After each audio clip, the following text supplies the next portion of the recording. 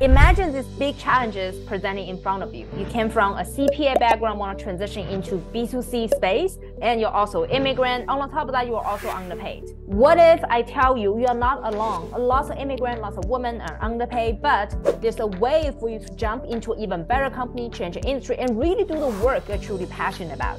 Today, I had a pleasure to invite our guest, Amy Yu, and she is a product manager at TikTok doing creator platforms and she's going to share with you regarding her challenges, her journey, and vulnerabilities, and also how she conquered those challenges so that you can repeat her success as well.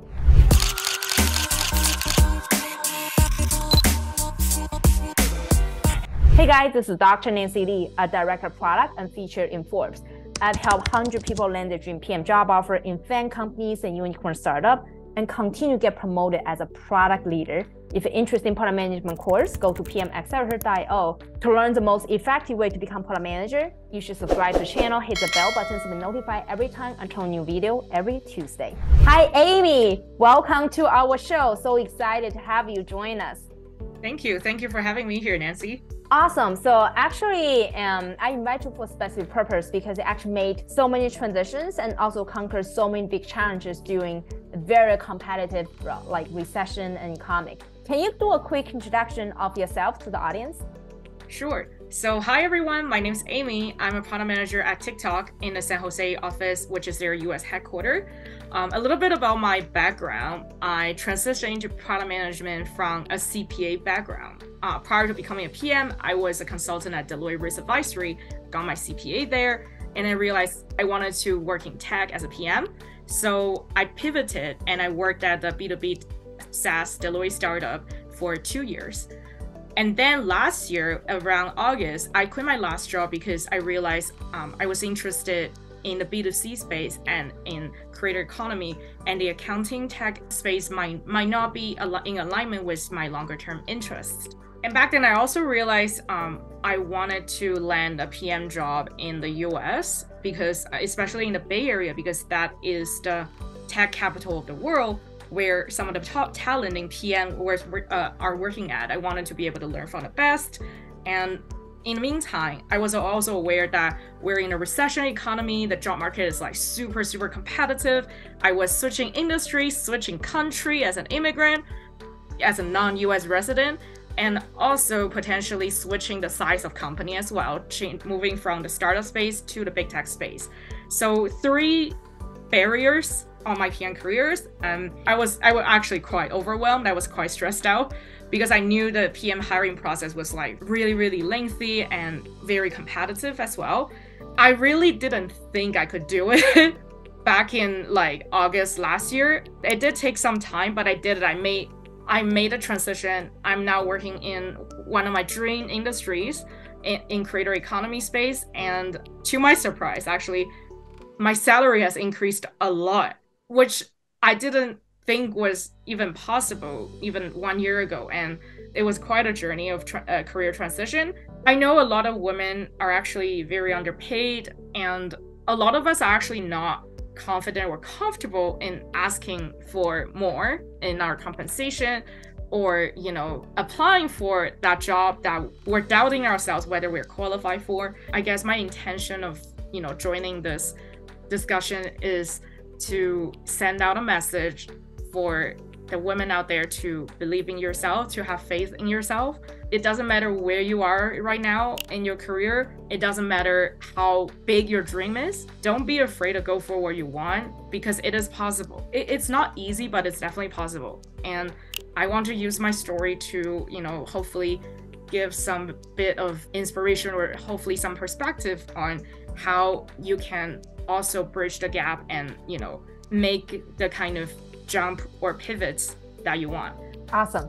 Uh, Amy, can you break it down regarding the challenges you're facing? And I love how vulnerable you are regarding you want to film this video to really stand out, to, to encourage, inspire lots of women out there, especially your salary increased significantly after you land a job at TikTok so let's start from the top. What are the top three challenges and how did you conquer these challenges? Tell us your challenges first. So the top three challenges are, if I look back on when I was applying for um, PM jobs back in, I would say October last year, I would say it was definitely extra competitive during the recession economy uh, because there were massive layoff everywhere. So that itself is very difficult. But for me, particular, the three biggest challenge were one switching industry. I came from a CPA background and I worked at an accounting tech company for two years. So most of the companies that were interested in hiring me were fintech companies and other accounting tech companies.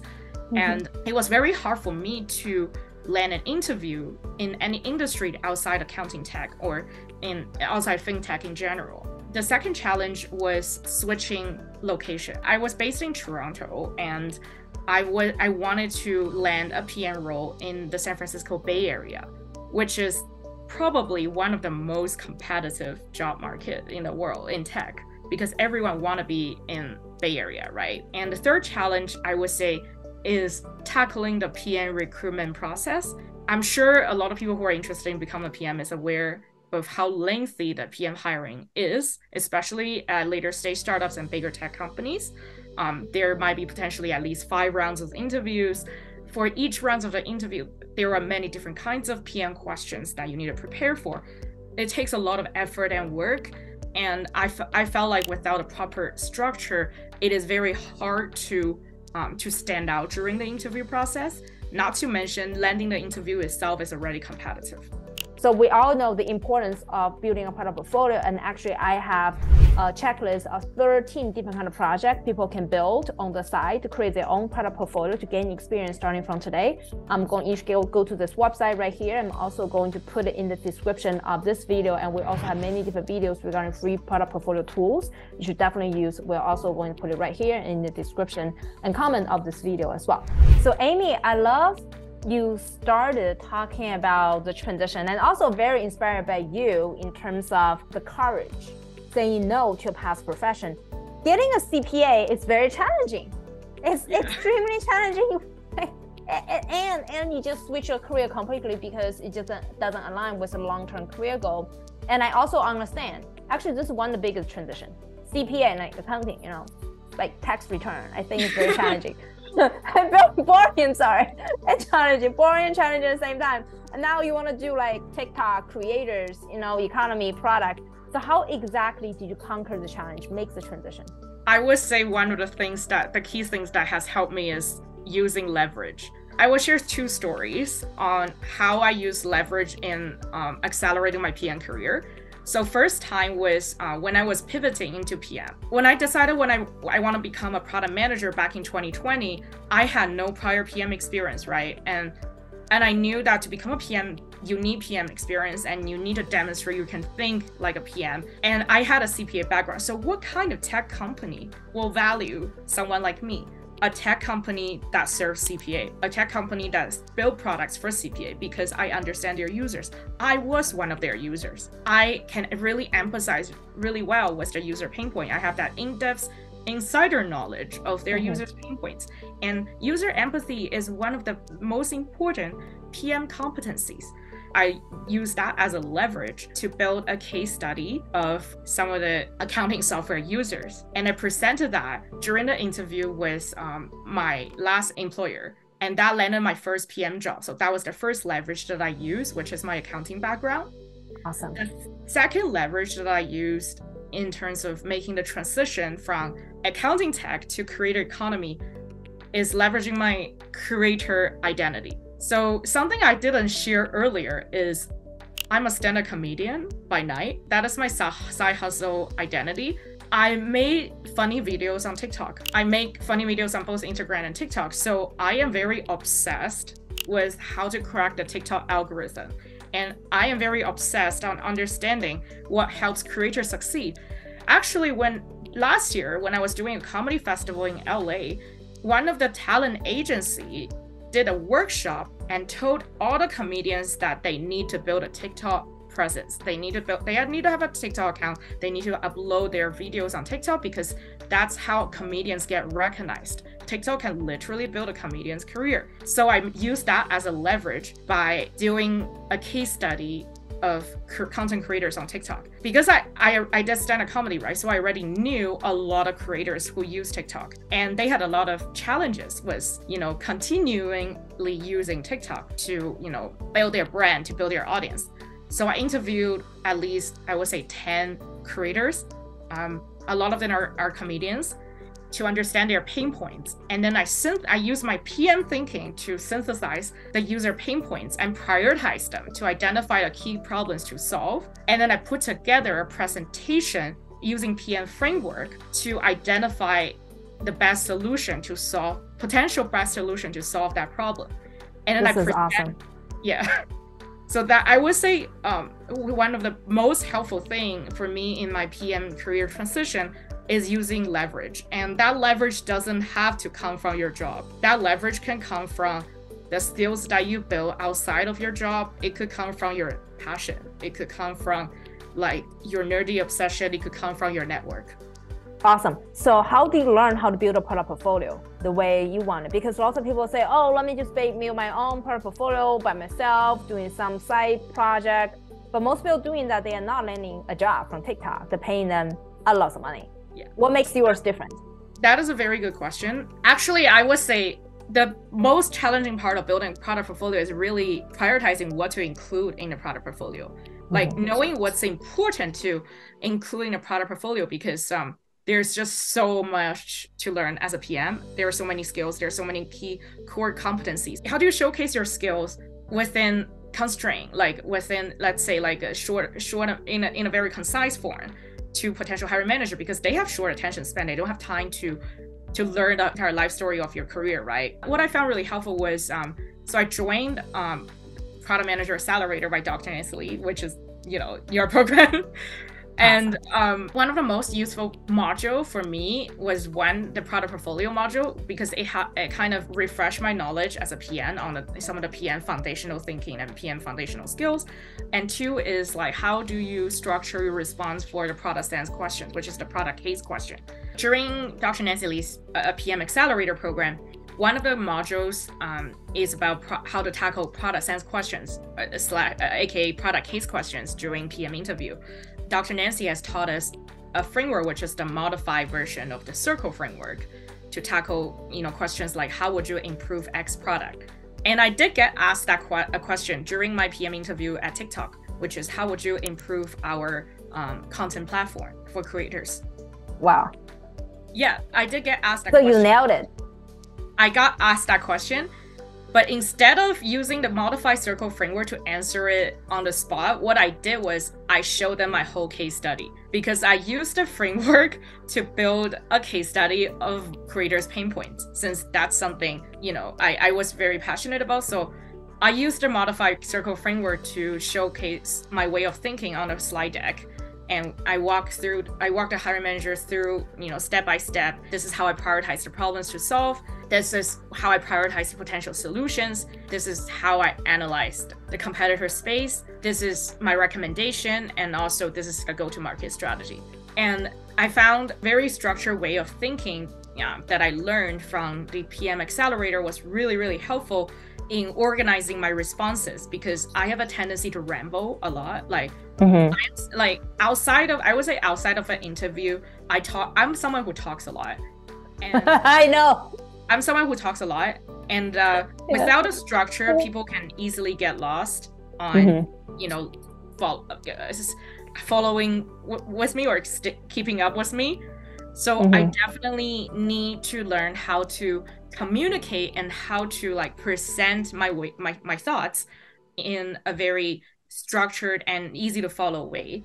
So, Amy, I love how you share all the insight how you land a job at TikTok doing those pivots. Um, you also mentioned the second big challenge, which is as an immigrant, non-U.S. citizen, uh, landing a job in the U.S. actually very, very challenging. And to be frank, lots of people also want to move to the US. They just feel like, oh no, they need visa sponsorship and no work experience in the US at all. They feel it's impossible. Um, like someone like you and many of our students have made it happen, even if they are immigrant, never work in the US. Can you share with us how you challenge your own immigration challenges moving to the US? That is a very good question. And it was definitely not easy at all. So my advice for those wanting to, you know, relocate to the U.S. Um, that require visa sponsorship will be, first of all, I would say try to find out what kind of companies are open or able to sponsor a visa, because from my experience, um, a lot of the startups, um, they kind of prefer not to hire people who require visa sponsorship. And that kind of helped me kind of re strategize my job search approach not spending too much effort in applying for those companies. I think one of the ways to identify potential company that can sponsor a visa will be like one, looking at other immigrant PM who got their visa, what kind of company did they work at, and mm-hmm. ask for their experiences. And two, as a rule of thumb, I would say like usually the it will be mostly later stage startup that will have the ability will have their own immigration team to help to support the, the visa application process. So that it could also be an indicator on in terms of the ease of landing a U.S. job. But in the same time, I'm also aware that um, by speaking to some of the PM friends that some of the big tech company actually took back offers after knowing that the students need visa sponsorship. Mm. So I would say this doesn't apply to all companies. I would still recommend uh, you doing the research on whether there are any companies that have that kind of risk, right? Because you don't want to put in so much effort only to be told that just because you need a visa, you cannot have this job, right? That will be quite discouraging.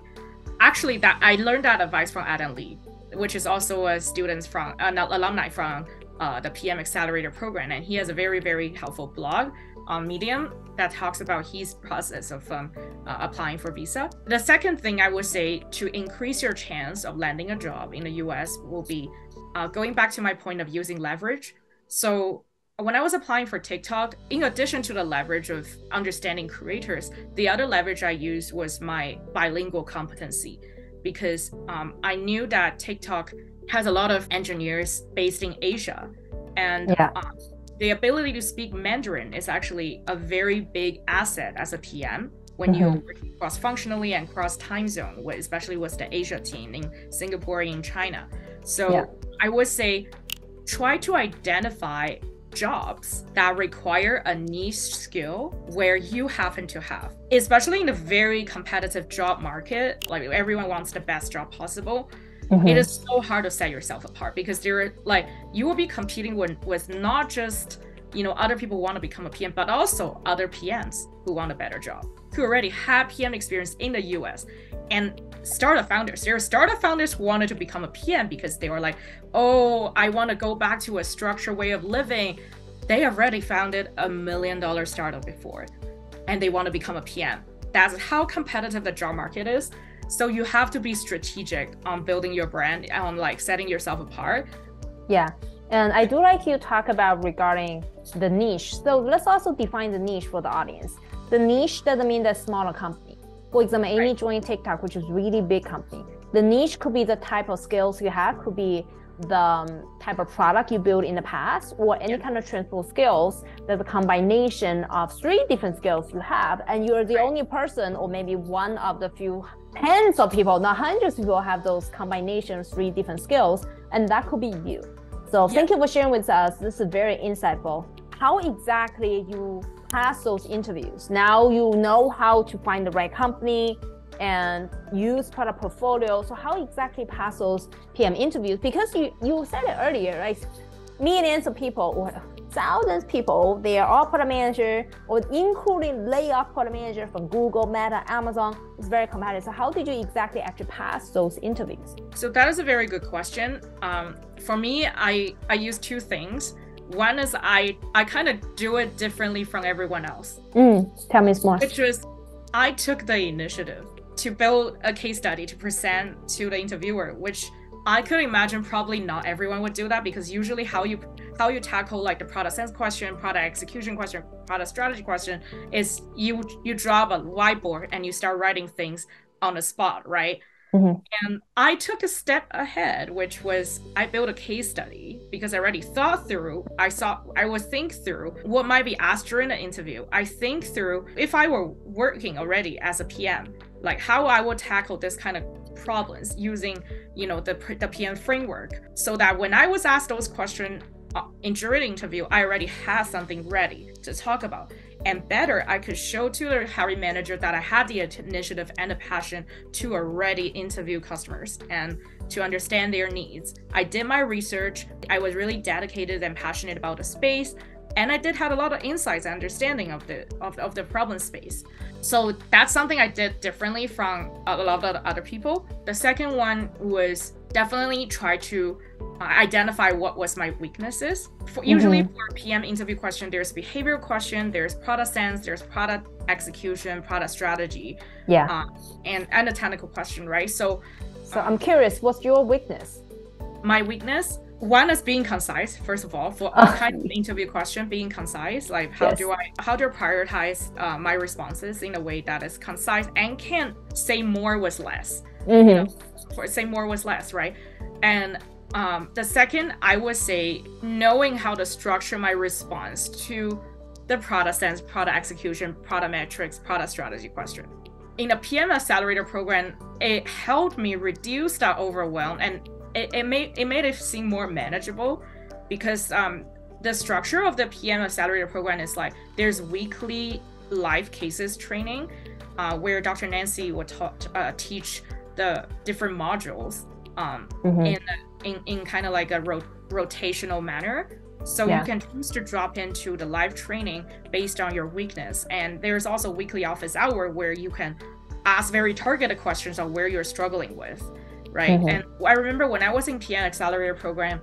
I kind of prioritized and structure my study a little bit by prioritizing the areas that I was the weakest, which is like I made sure I study all the PM interview modules on questions that I knew I didn't have a lot of confidence on, just mm-hmm. to learn, you know, to learn the way of thinking, and then I drop into I will participate in a live case training to um, to learn how to, for example, do customer segmentation and also like to catch if there's any gap in my way of thinking and also for any area that i felt a little bit more uncomfortable with like I, I i could observe how other people do it and and mm-hmm. also observe how nancy dr nancy li got uh, give feedback to the students on how they can potentially re- improve their response which i all found really really helpful and then during the office hour if i had if i had any areas of weaknesses that i felt really uncomfortable with or i felt like not confident in in myself um, i could always ask for help um, mm-hmm. dr nancy and the, the mentors which i found really really helpful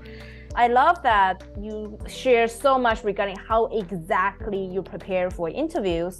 So now let me ask you an overall question.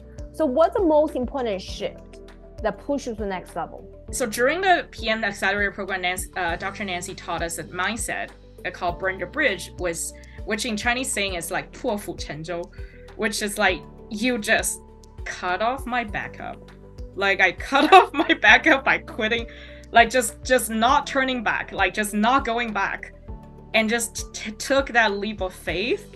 I was hesitating a little bit on whether or not I would join PM Accelerator because, you know, I was already living on my saving and I need to be careful with where I spend my money, right? And it was not a cheap program, right? and what I found so helpful was the PM Accelerator program was really prioritization. It's so important because sometimes like people get, tend to procrastinate and get paralyzed when they have too many options.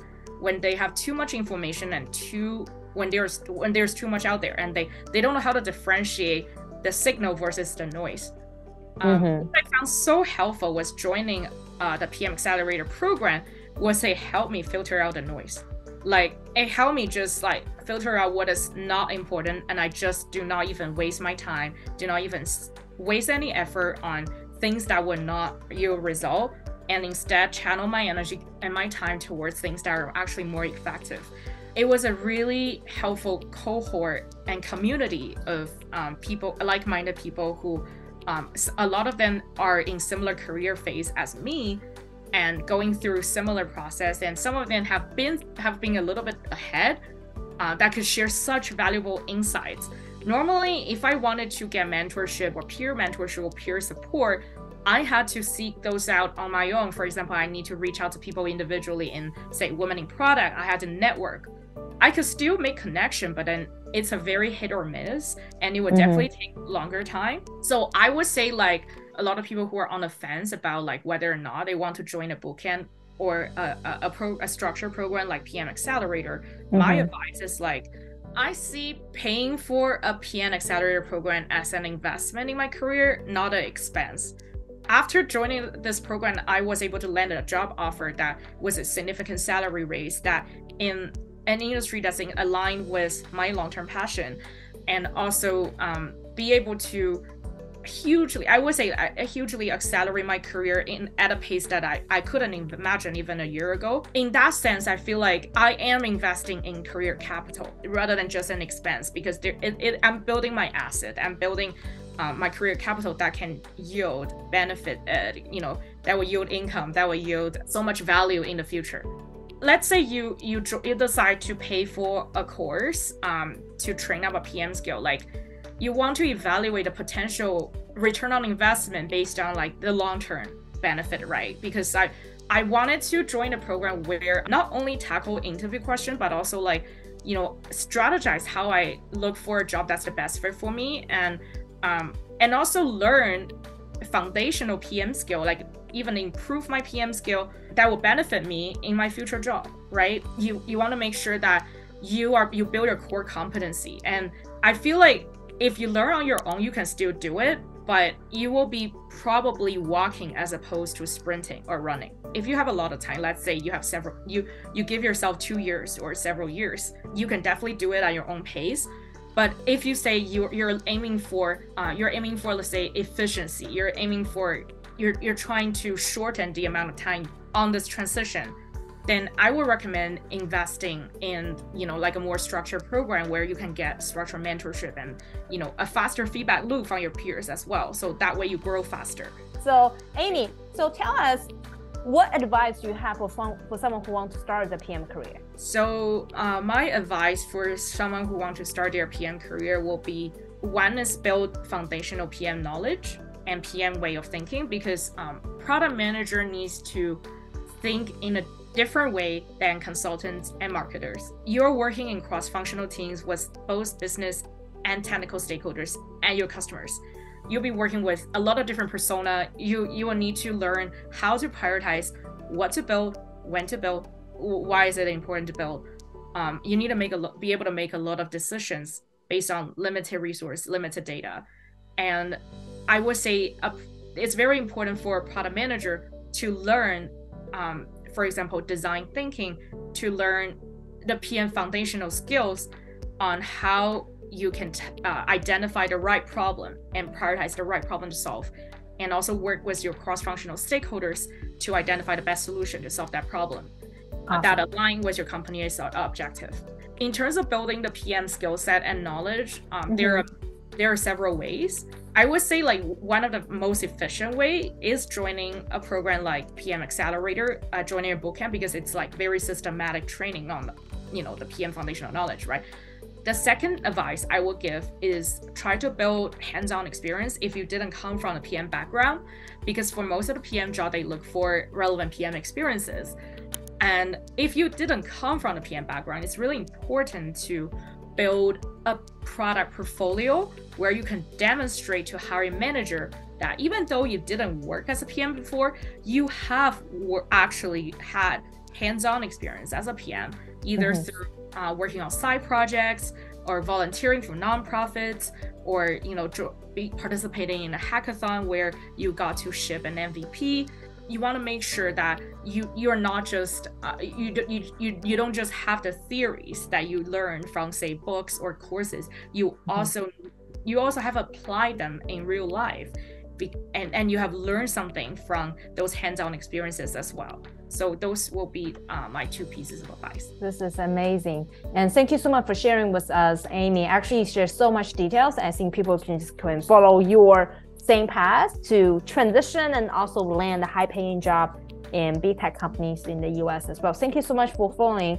Thank you so much for sharing with us. And of course, I will also check out your uh, comedian stand-up comedian jokes for sure. And yes. we're also going to put it in the description of this video as well. And we're also going to boost your following through our YouTube channel. Awesome. If you like any free tips we provide today, feel free to uh, like this video. And for regarding product portfolio, people ask these questions, where do we use it? What tools we use? Feel free to go to the link in the description and this website. You can download the 13 different projects you can build and identify those uh, top five free tools. And you can immediately get started and it's time to take massive action towards your career dream as well. Thank you very much for joining us today. Make sure to like, share, and subscribe to this channel. We'll see you in the next video. Bye, guys.